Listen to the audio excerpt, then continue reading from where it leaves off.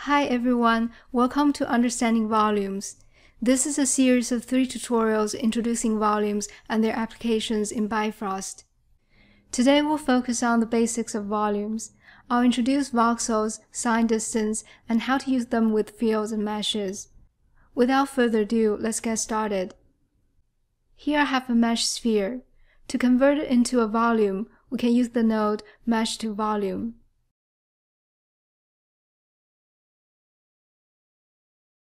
This node voxelizes the input geometry and depending on your selection, computes and stores the level set or fog density or both. Similar to a pixel, which is the smallest element of a 2D image, a voxel is the smallest element of a volume in 3D space. And just as each pixel stores color information, each voxel can store information such as sign distance, fog density, and velocity, which I'll talk more about later. Let's get a volume scope to visualize it.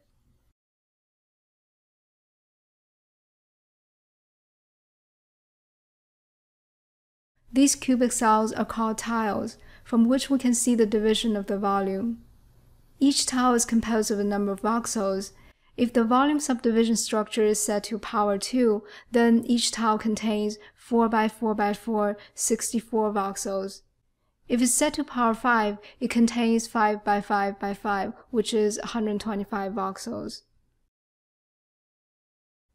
The tile tree is a specific aspect of how voxels work in Bifrost. If I increase the visible levels, we see that it's multi-resolution and extends pretty far in space.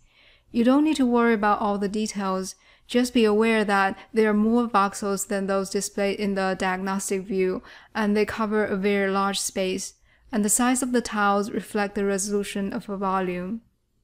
In terms of resolution, here we have two options, relative and absolute. Relative means the voxel size is relative to the bounding box of the input mesh. If I scale up the mesh, the voxels become larger. When you work with very large models or test a large range of scales, relative mode helps since you don't need to worry about too many voxels crashing your computer. Otherwise, most of the time we use absolute mode. In this mode, the voxel size is in world space unit. For example, if the world space unit is set to centimeter, then here 0.05 means the edge of each voxel is 0.05 centimeters. If I change the scale of the mesh, the size of the voxel stays the same, while the number of them updates accordingly. In this case, larger models will have more voxels. When we use absolute mode, be careful not to go too low for the voxel size. Although a smaller detail size gives a better depiction of the original geometry, too many voxels might crash your computer. Start with something like 0.5 and then gradually decrease it if necessary. Right now, the stored voxel property is fog density. To visualize it, I'm going to select Display Points and change the color voxel property to voxel fog density. Turn off the display of the tiles. Each point represents the fog density of that voxel. We see that as it gets closer to the surface, the fog density becomes smaller. We can also assign a material to the volume. Let's get an AI standard volume and select Default Bifrost Aero as the preset.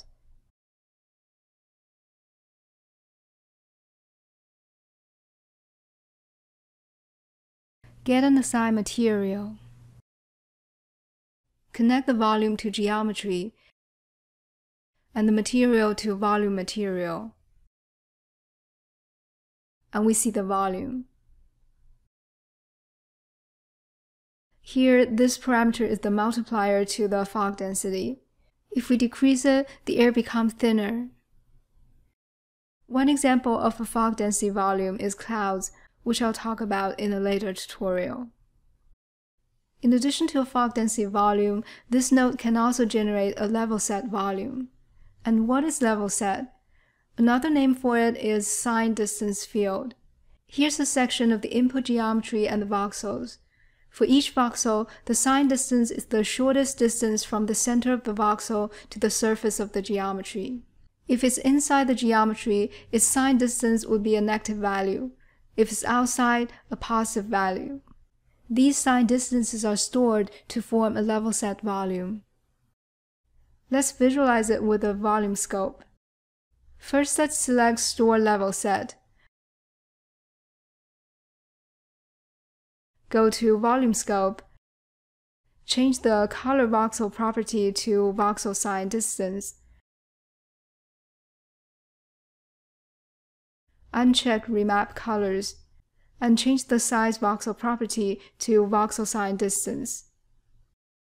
Here the white dots are positive values and the black ones negative values. And the size of the point reflects the absolute value of the sign distance. What can we do with the voxel sign distance? One application is to combine it with fields to manipulate geometries. For example, here I have a mushroom.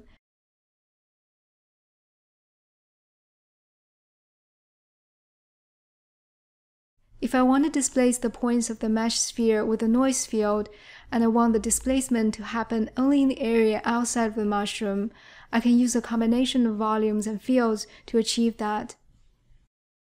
First, we convert the mushroom mesh to a volume, Select Store Level Set. Change the resolution mode to absolute. I'm going to increase the detail size so that it runs faster. Get a voxel field to convert the volume to a field. Here the property is set to voxel sign distance, so positions outside of the mushroom have positive values and those inside have negative values. If we apply a mask field to it, we get a new field whose value is 1 where the input field value is positive, and 0 where it's negative. Multiply it with a fractal noise field, and we can use these values as the weights for displacing the mesh points. Let's get a mask field.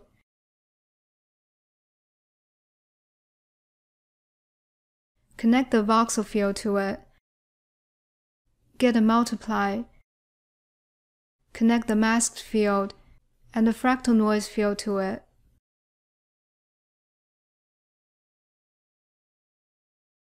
Get the displaced points. Connect the mesh sphere to points and the values to weights.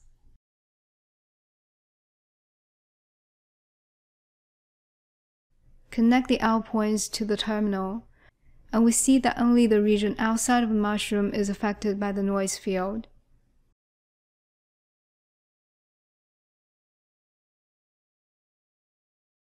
If we change the location of the original mesh, the shape updates automatically because it's all procedural.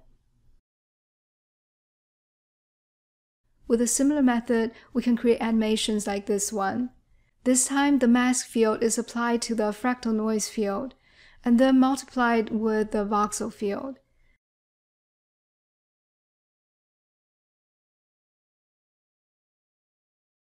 Let's connect the noise field to mask field and multiply this output with the voxel field. To convert this field back to a volume, we use the node field to volume.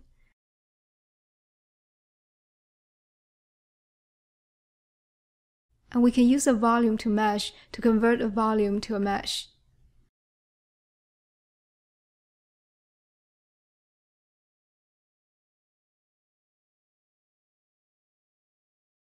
In the parameters panel of the Field to Volume node, select Store Level Set. I'm going to increase the detail size and set the resolution mode to absolute.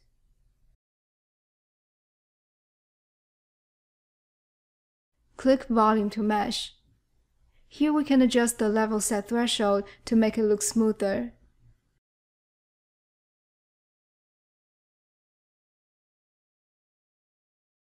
Let's adjust the frequency and number of frequencies as well.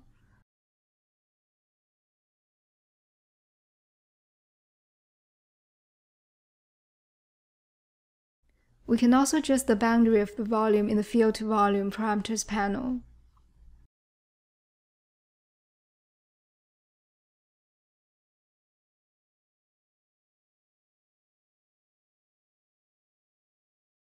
To color this geometry, I'm going to combine the meshes using a merge geometry.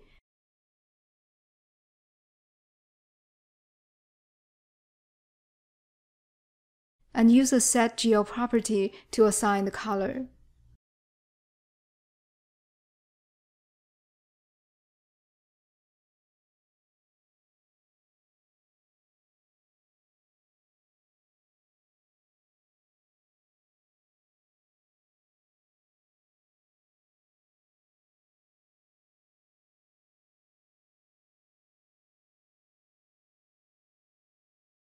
To create its complementary shape, we can simply inverse the fractal noise field by multiplying it with a scalar field of negative 1.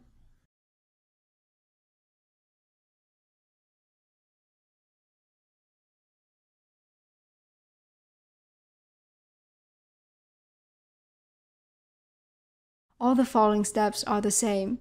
I can just copy and paste all these nodes and assign a different color to the mesh.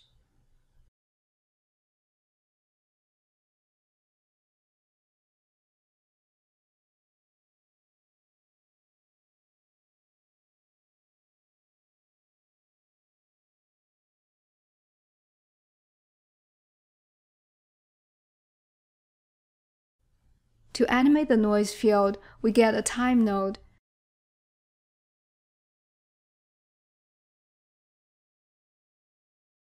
Scale it with the float value.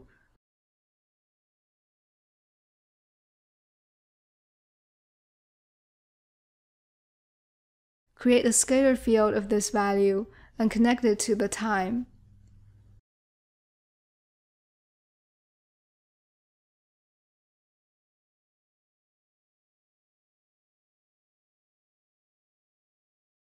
Play it and we see the animation. With volumes, we can also apply Boolean operations such as union, difference, and intersection. For example, I have a box here.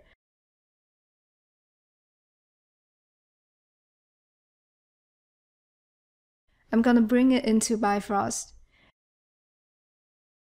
If I want to remove the volume inside the box, I can do a Boolean difference with the node merge volumes. First, convert the box into a volume using a mesh to volume.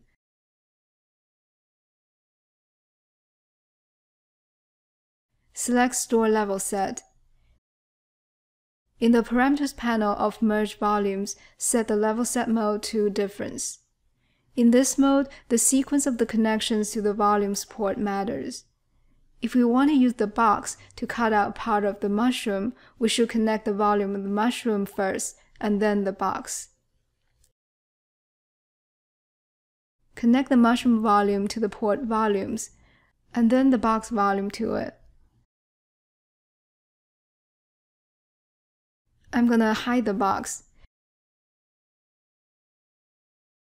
Connect the out volume to the volume to mesh node. Do the same to the other part.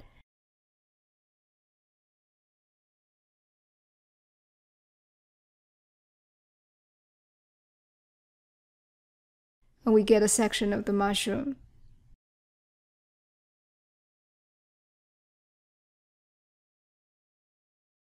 In addition to creating shapes with fields, volumes can also be used to generate textures.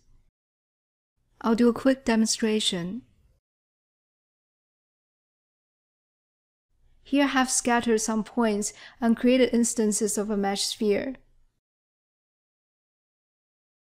Let's bake them into a merged mesh using a bake instance geometry. Convert it to a fog density volume.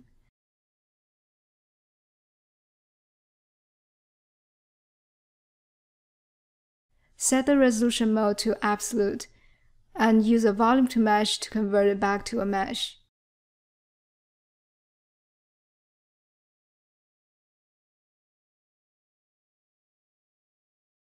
This way, those discrete mesh spheres are merged into one geometry with an organic looking surface pattern. We can adjust the property threshold to change the smoothness and adjust the detail size of voxels to change the resolution. I'm going to switch to the shaded wireframe view for a moment. Here we see that a high resolution volume makes a high poly mesh that captures more details, and a low resolution volume makes a low poly mesh.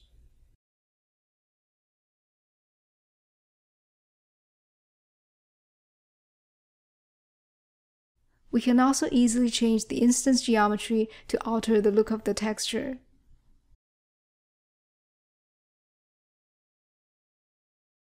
That's it for today. In the next tutorial, I'll talk about scattering points in volume and creating a particle simulation from it. Thanks for watching, stay tuned, and I'll see you next time.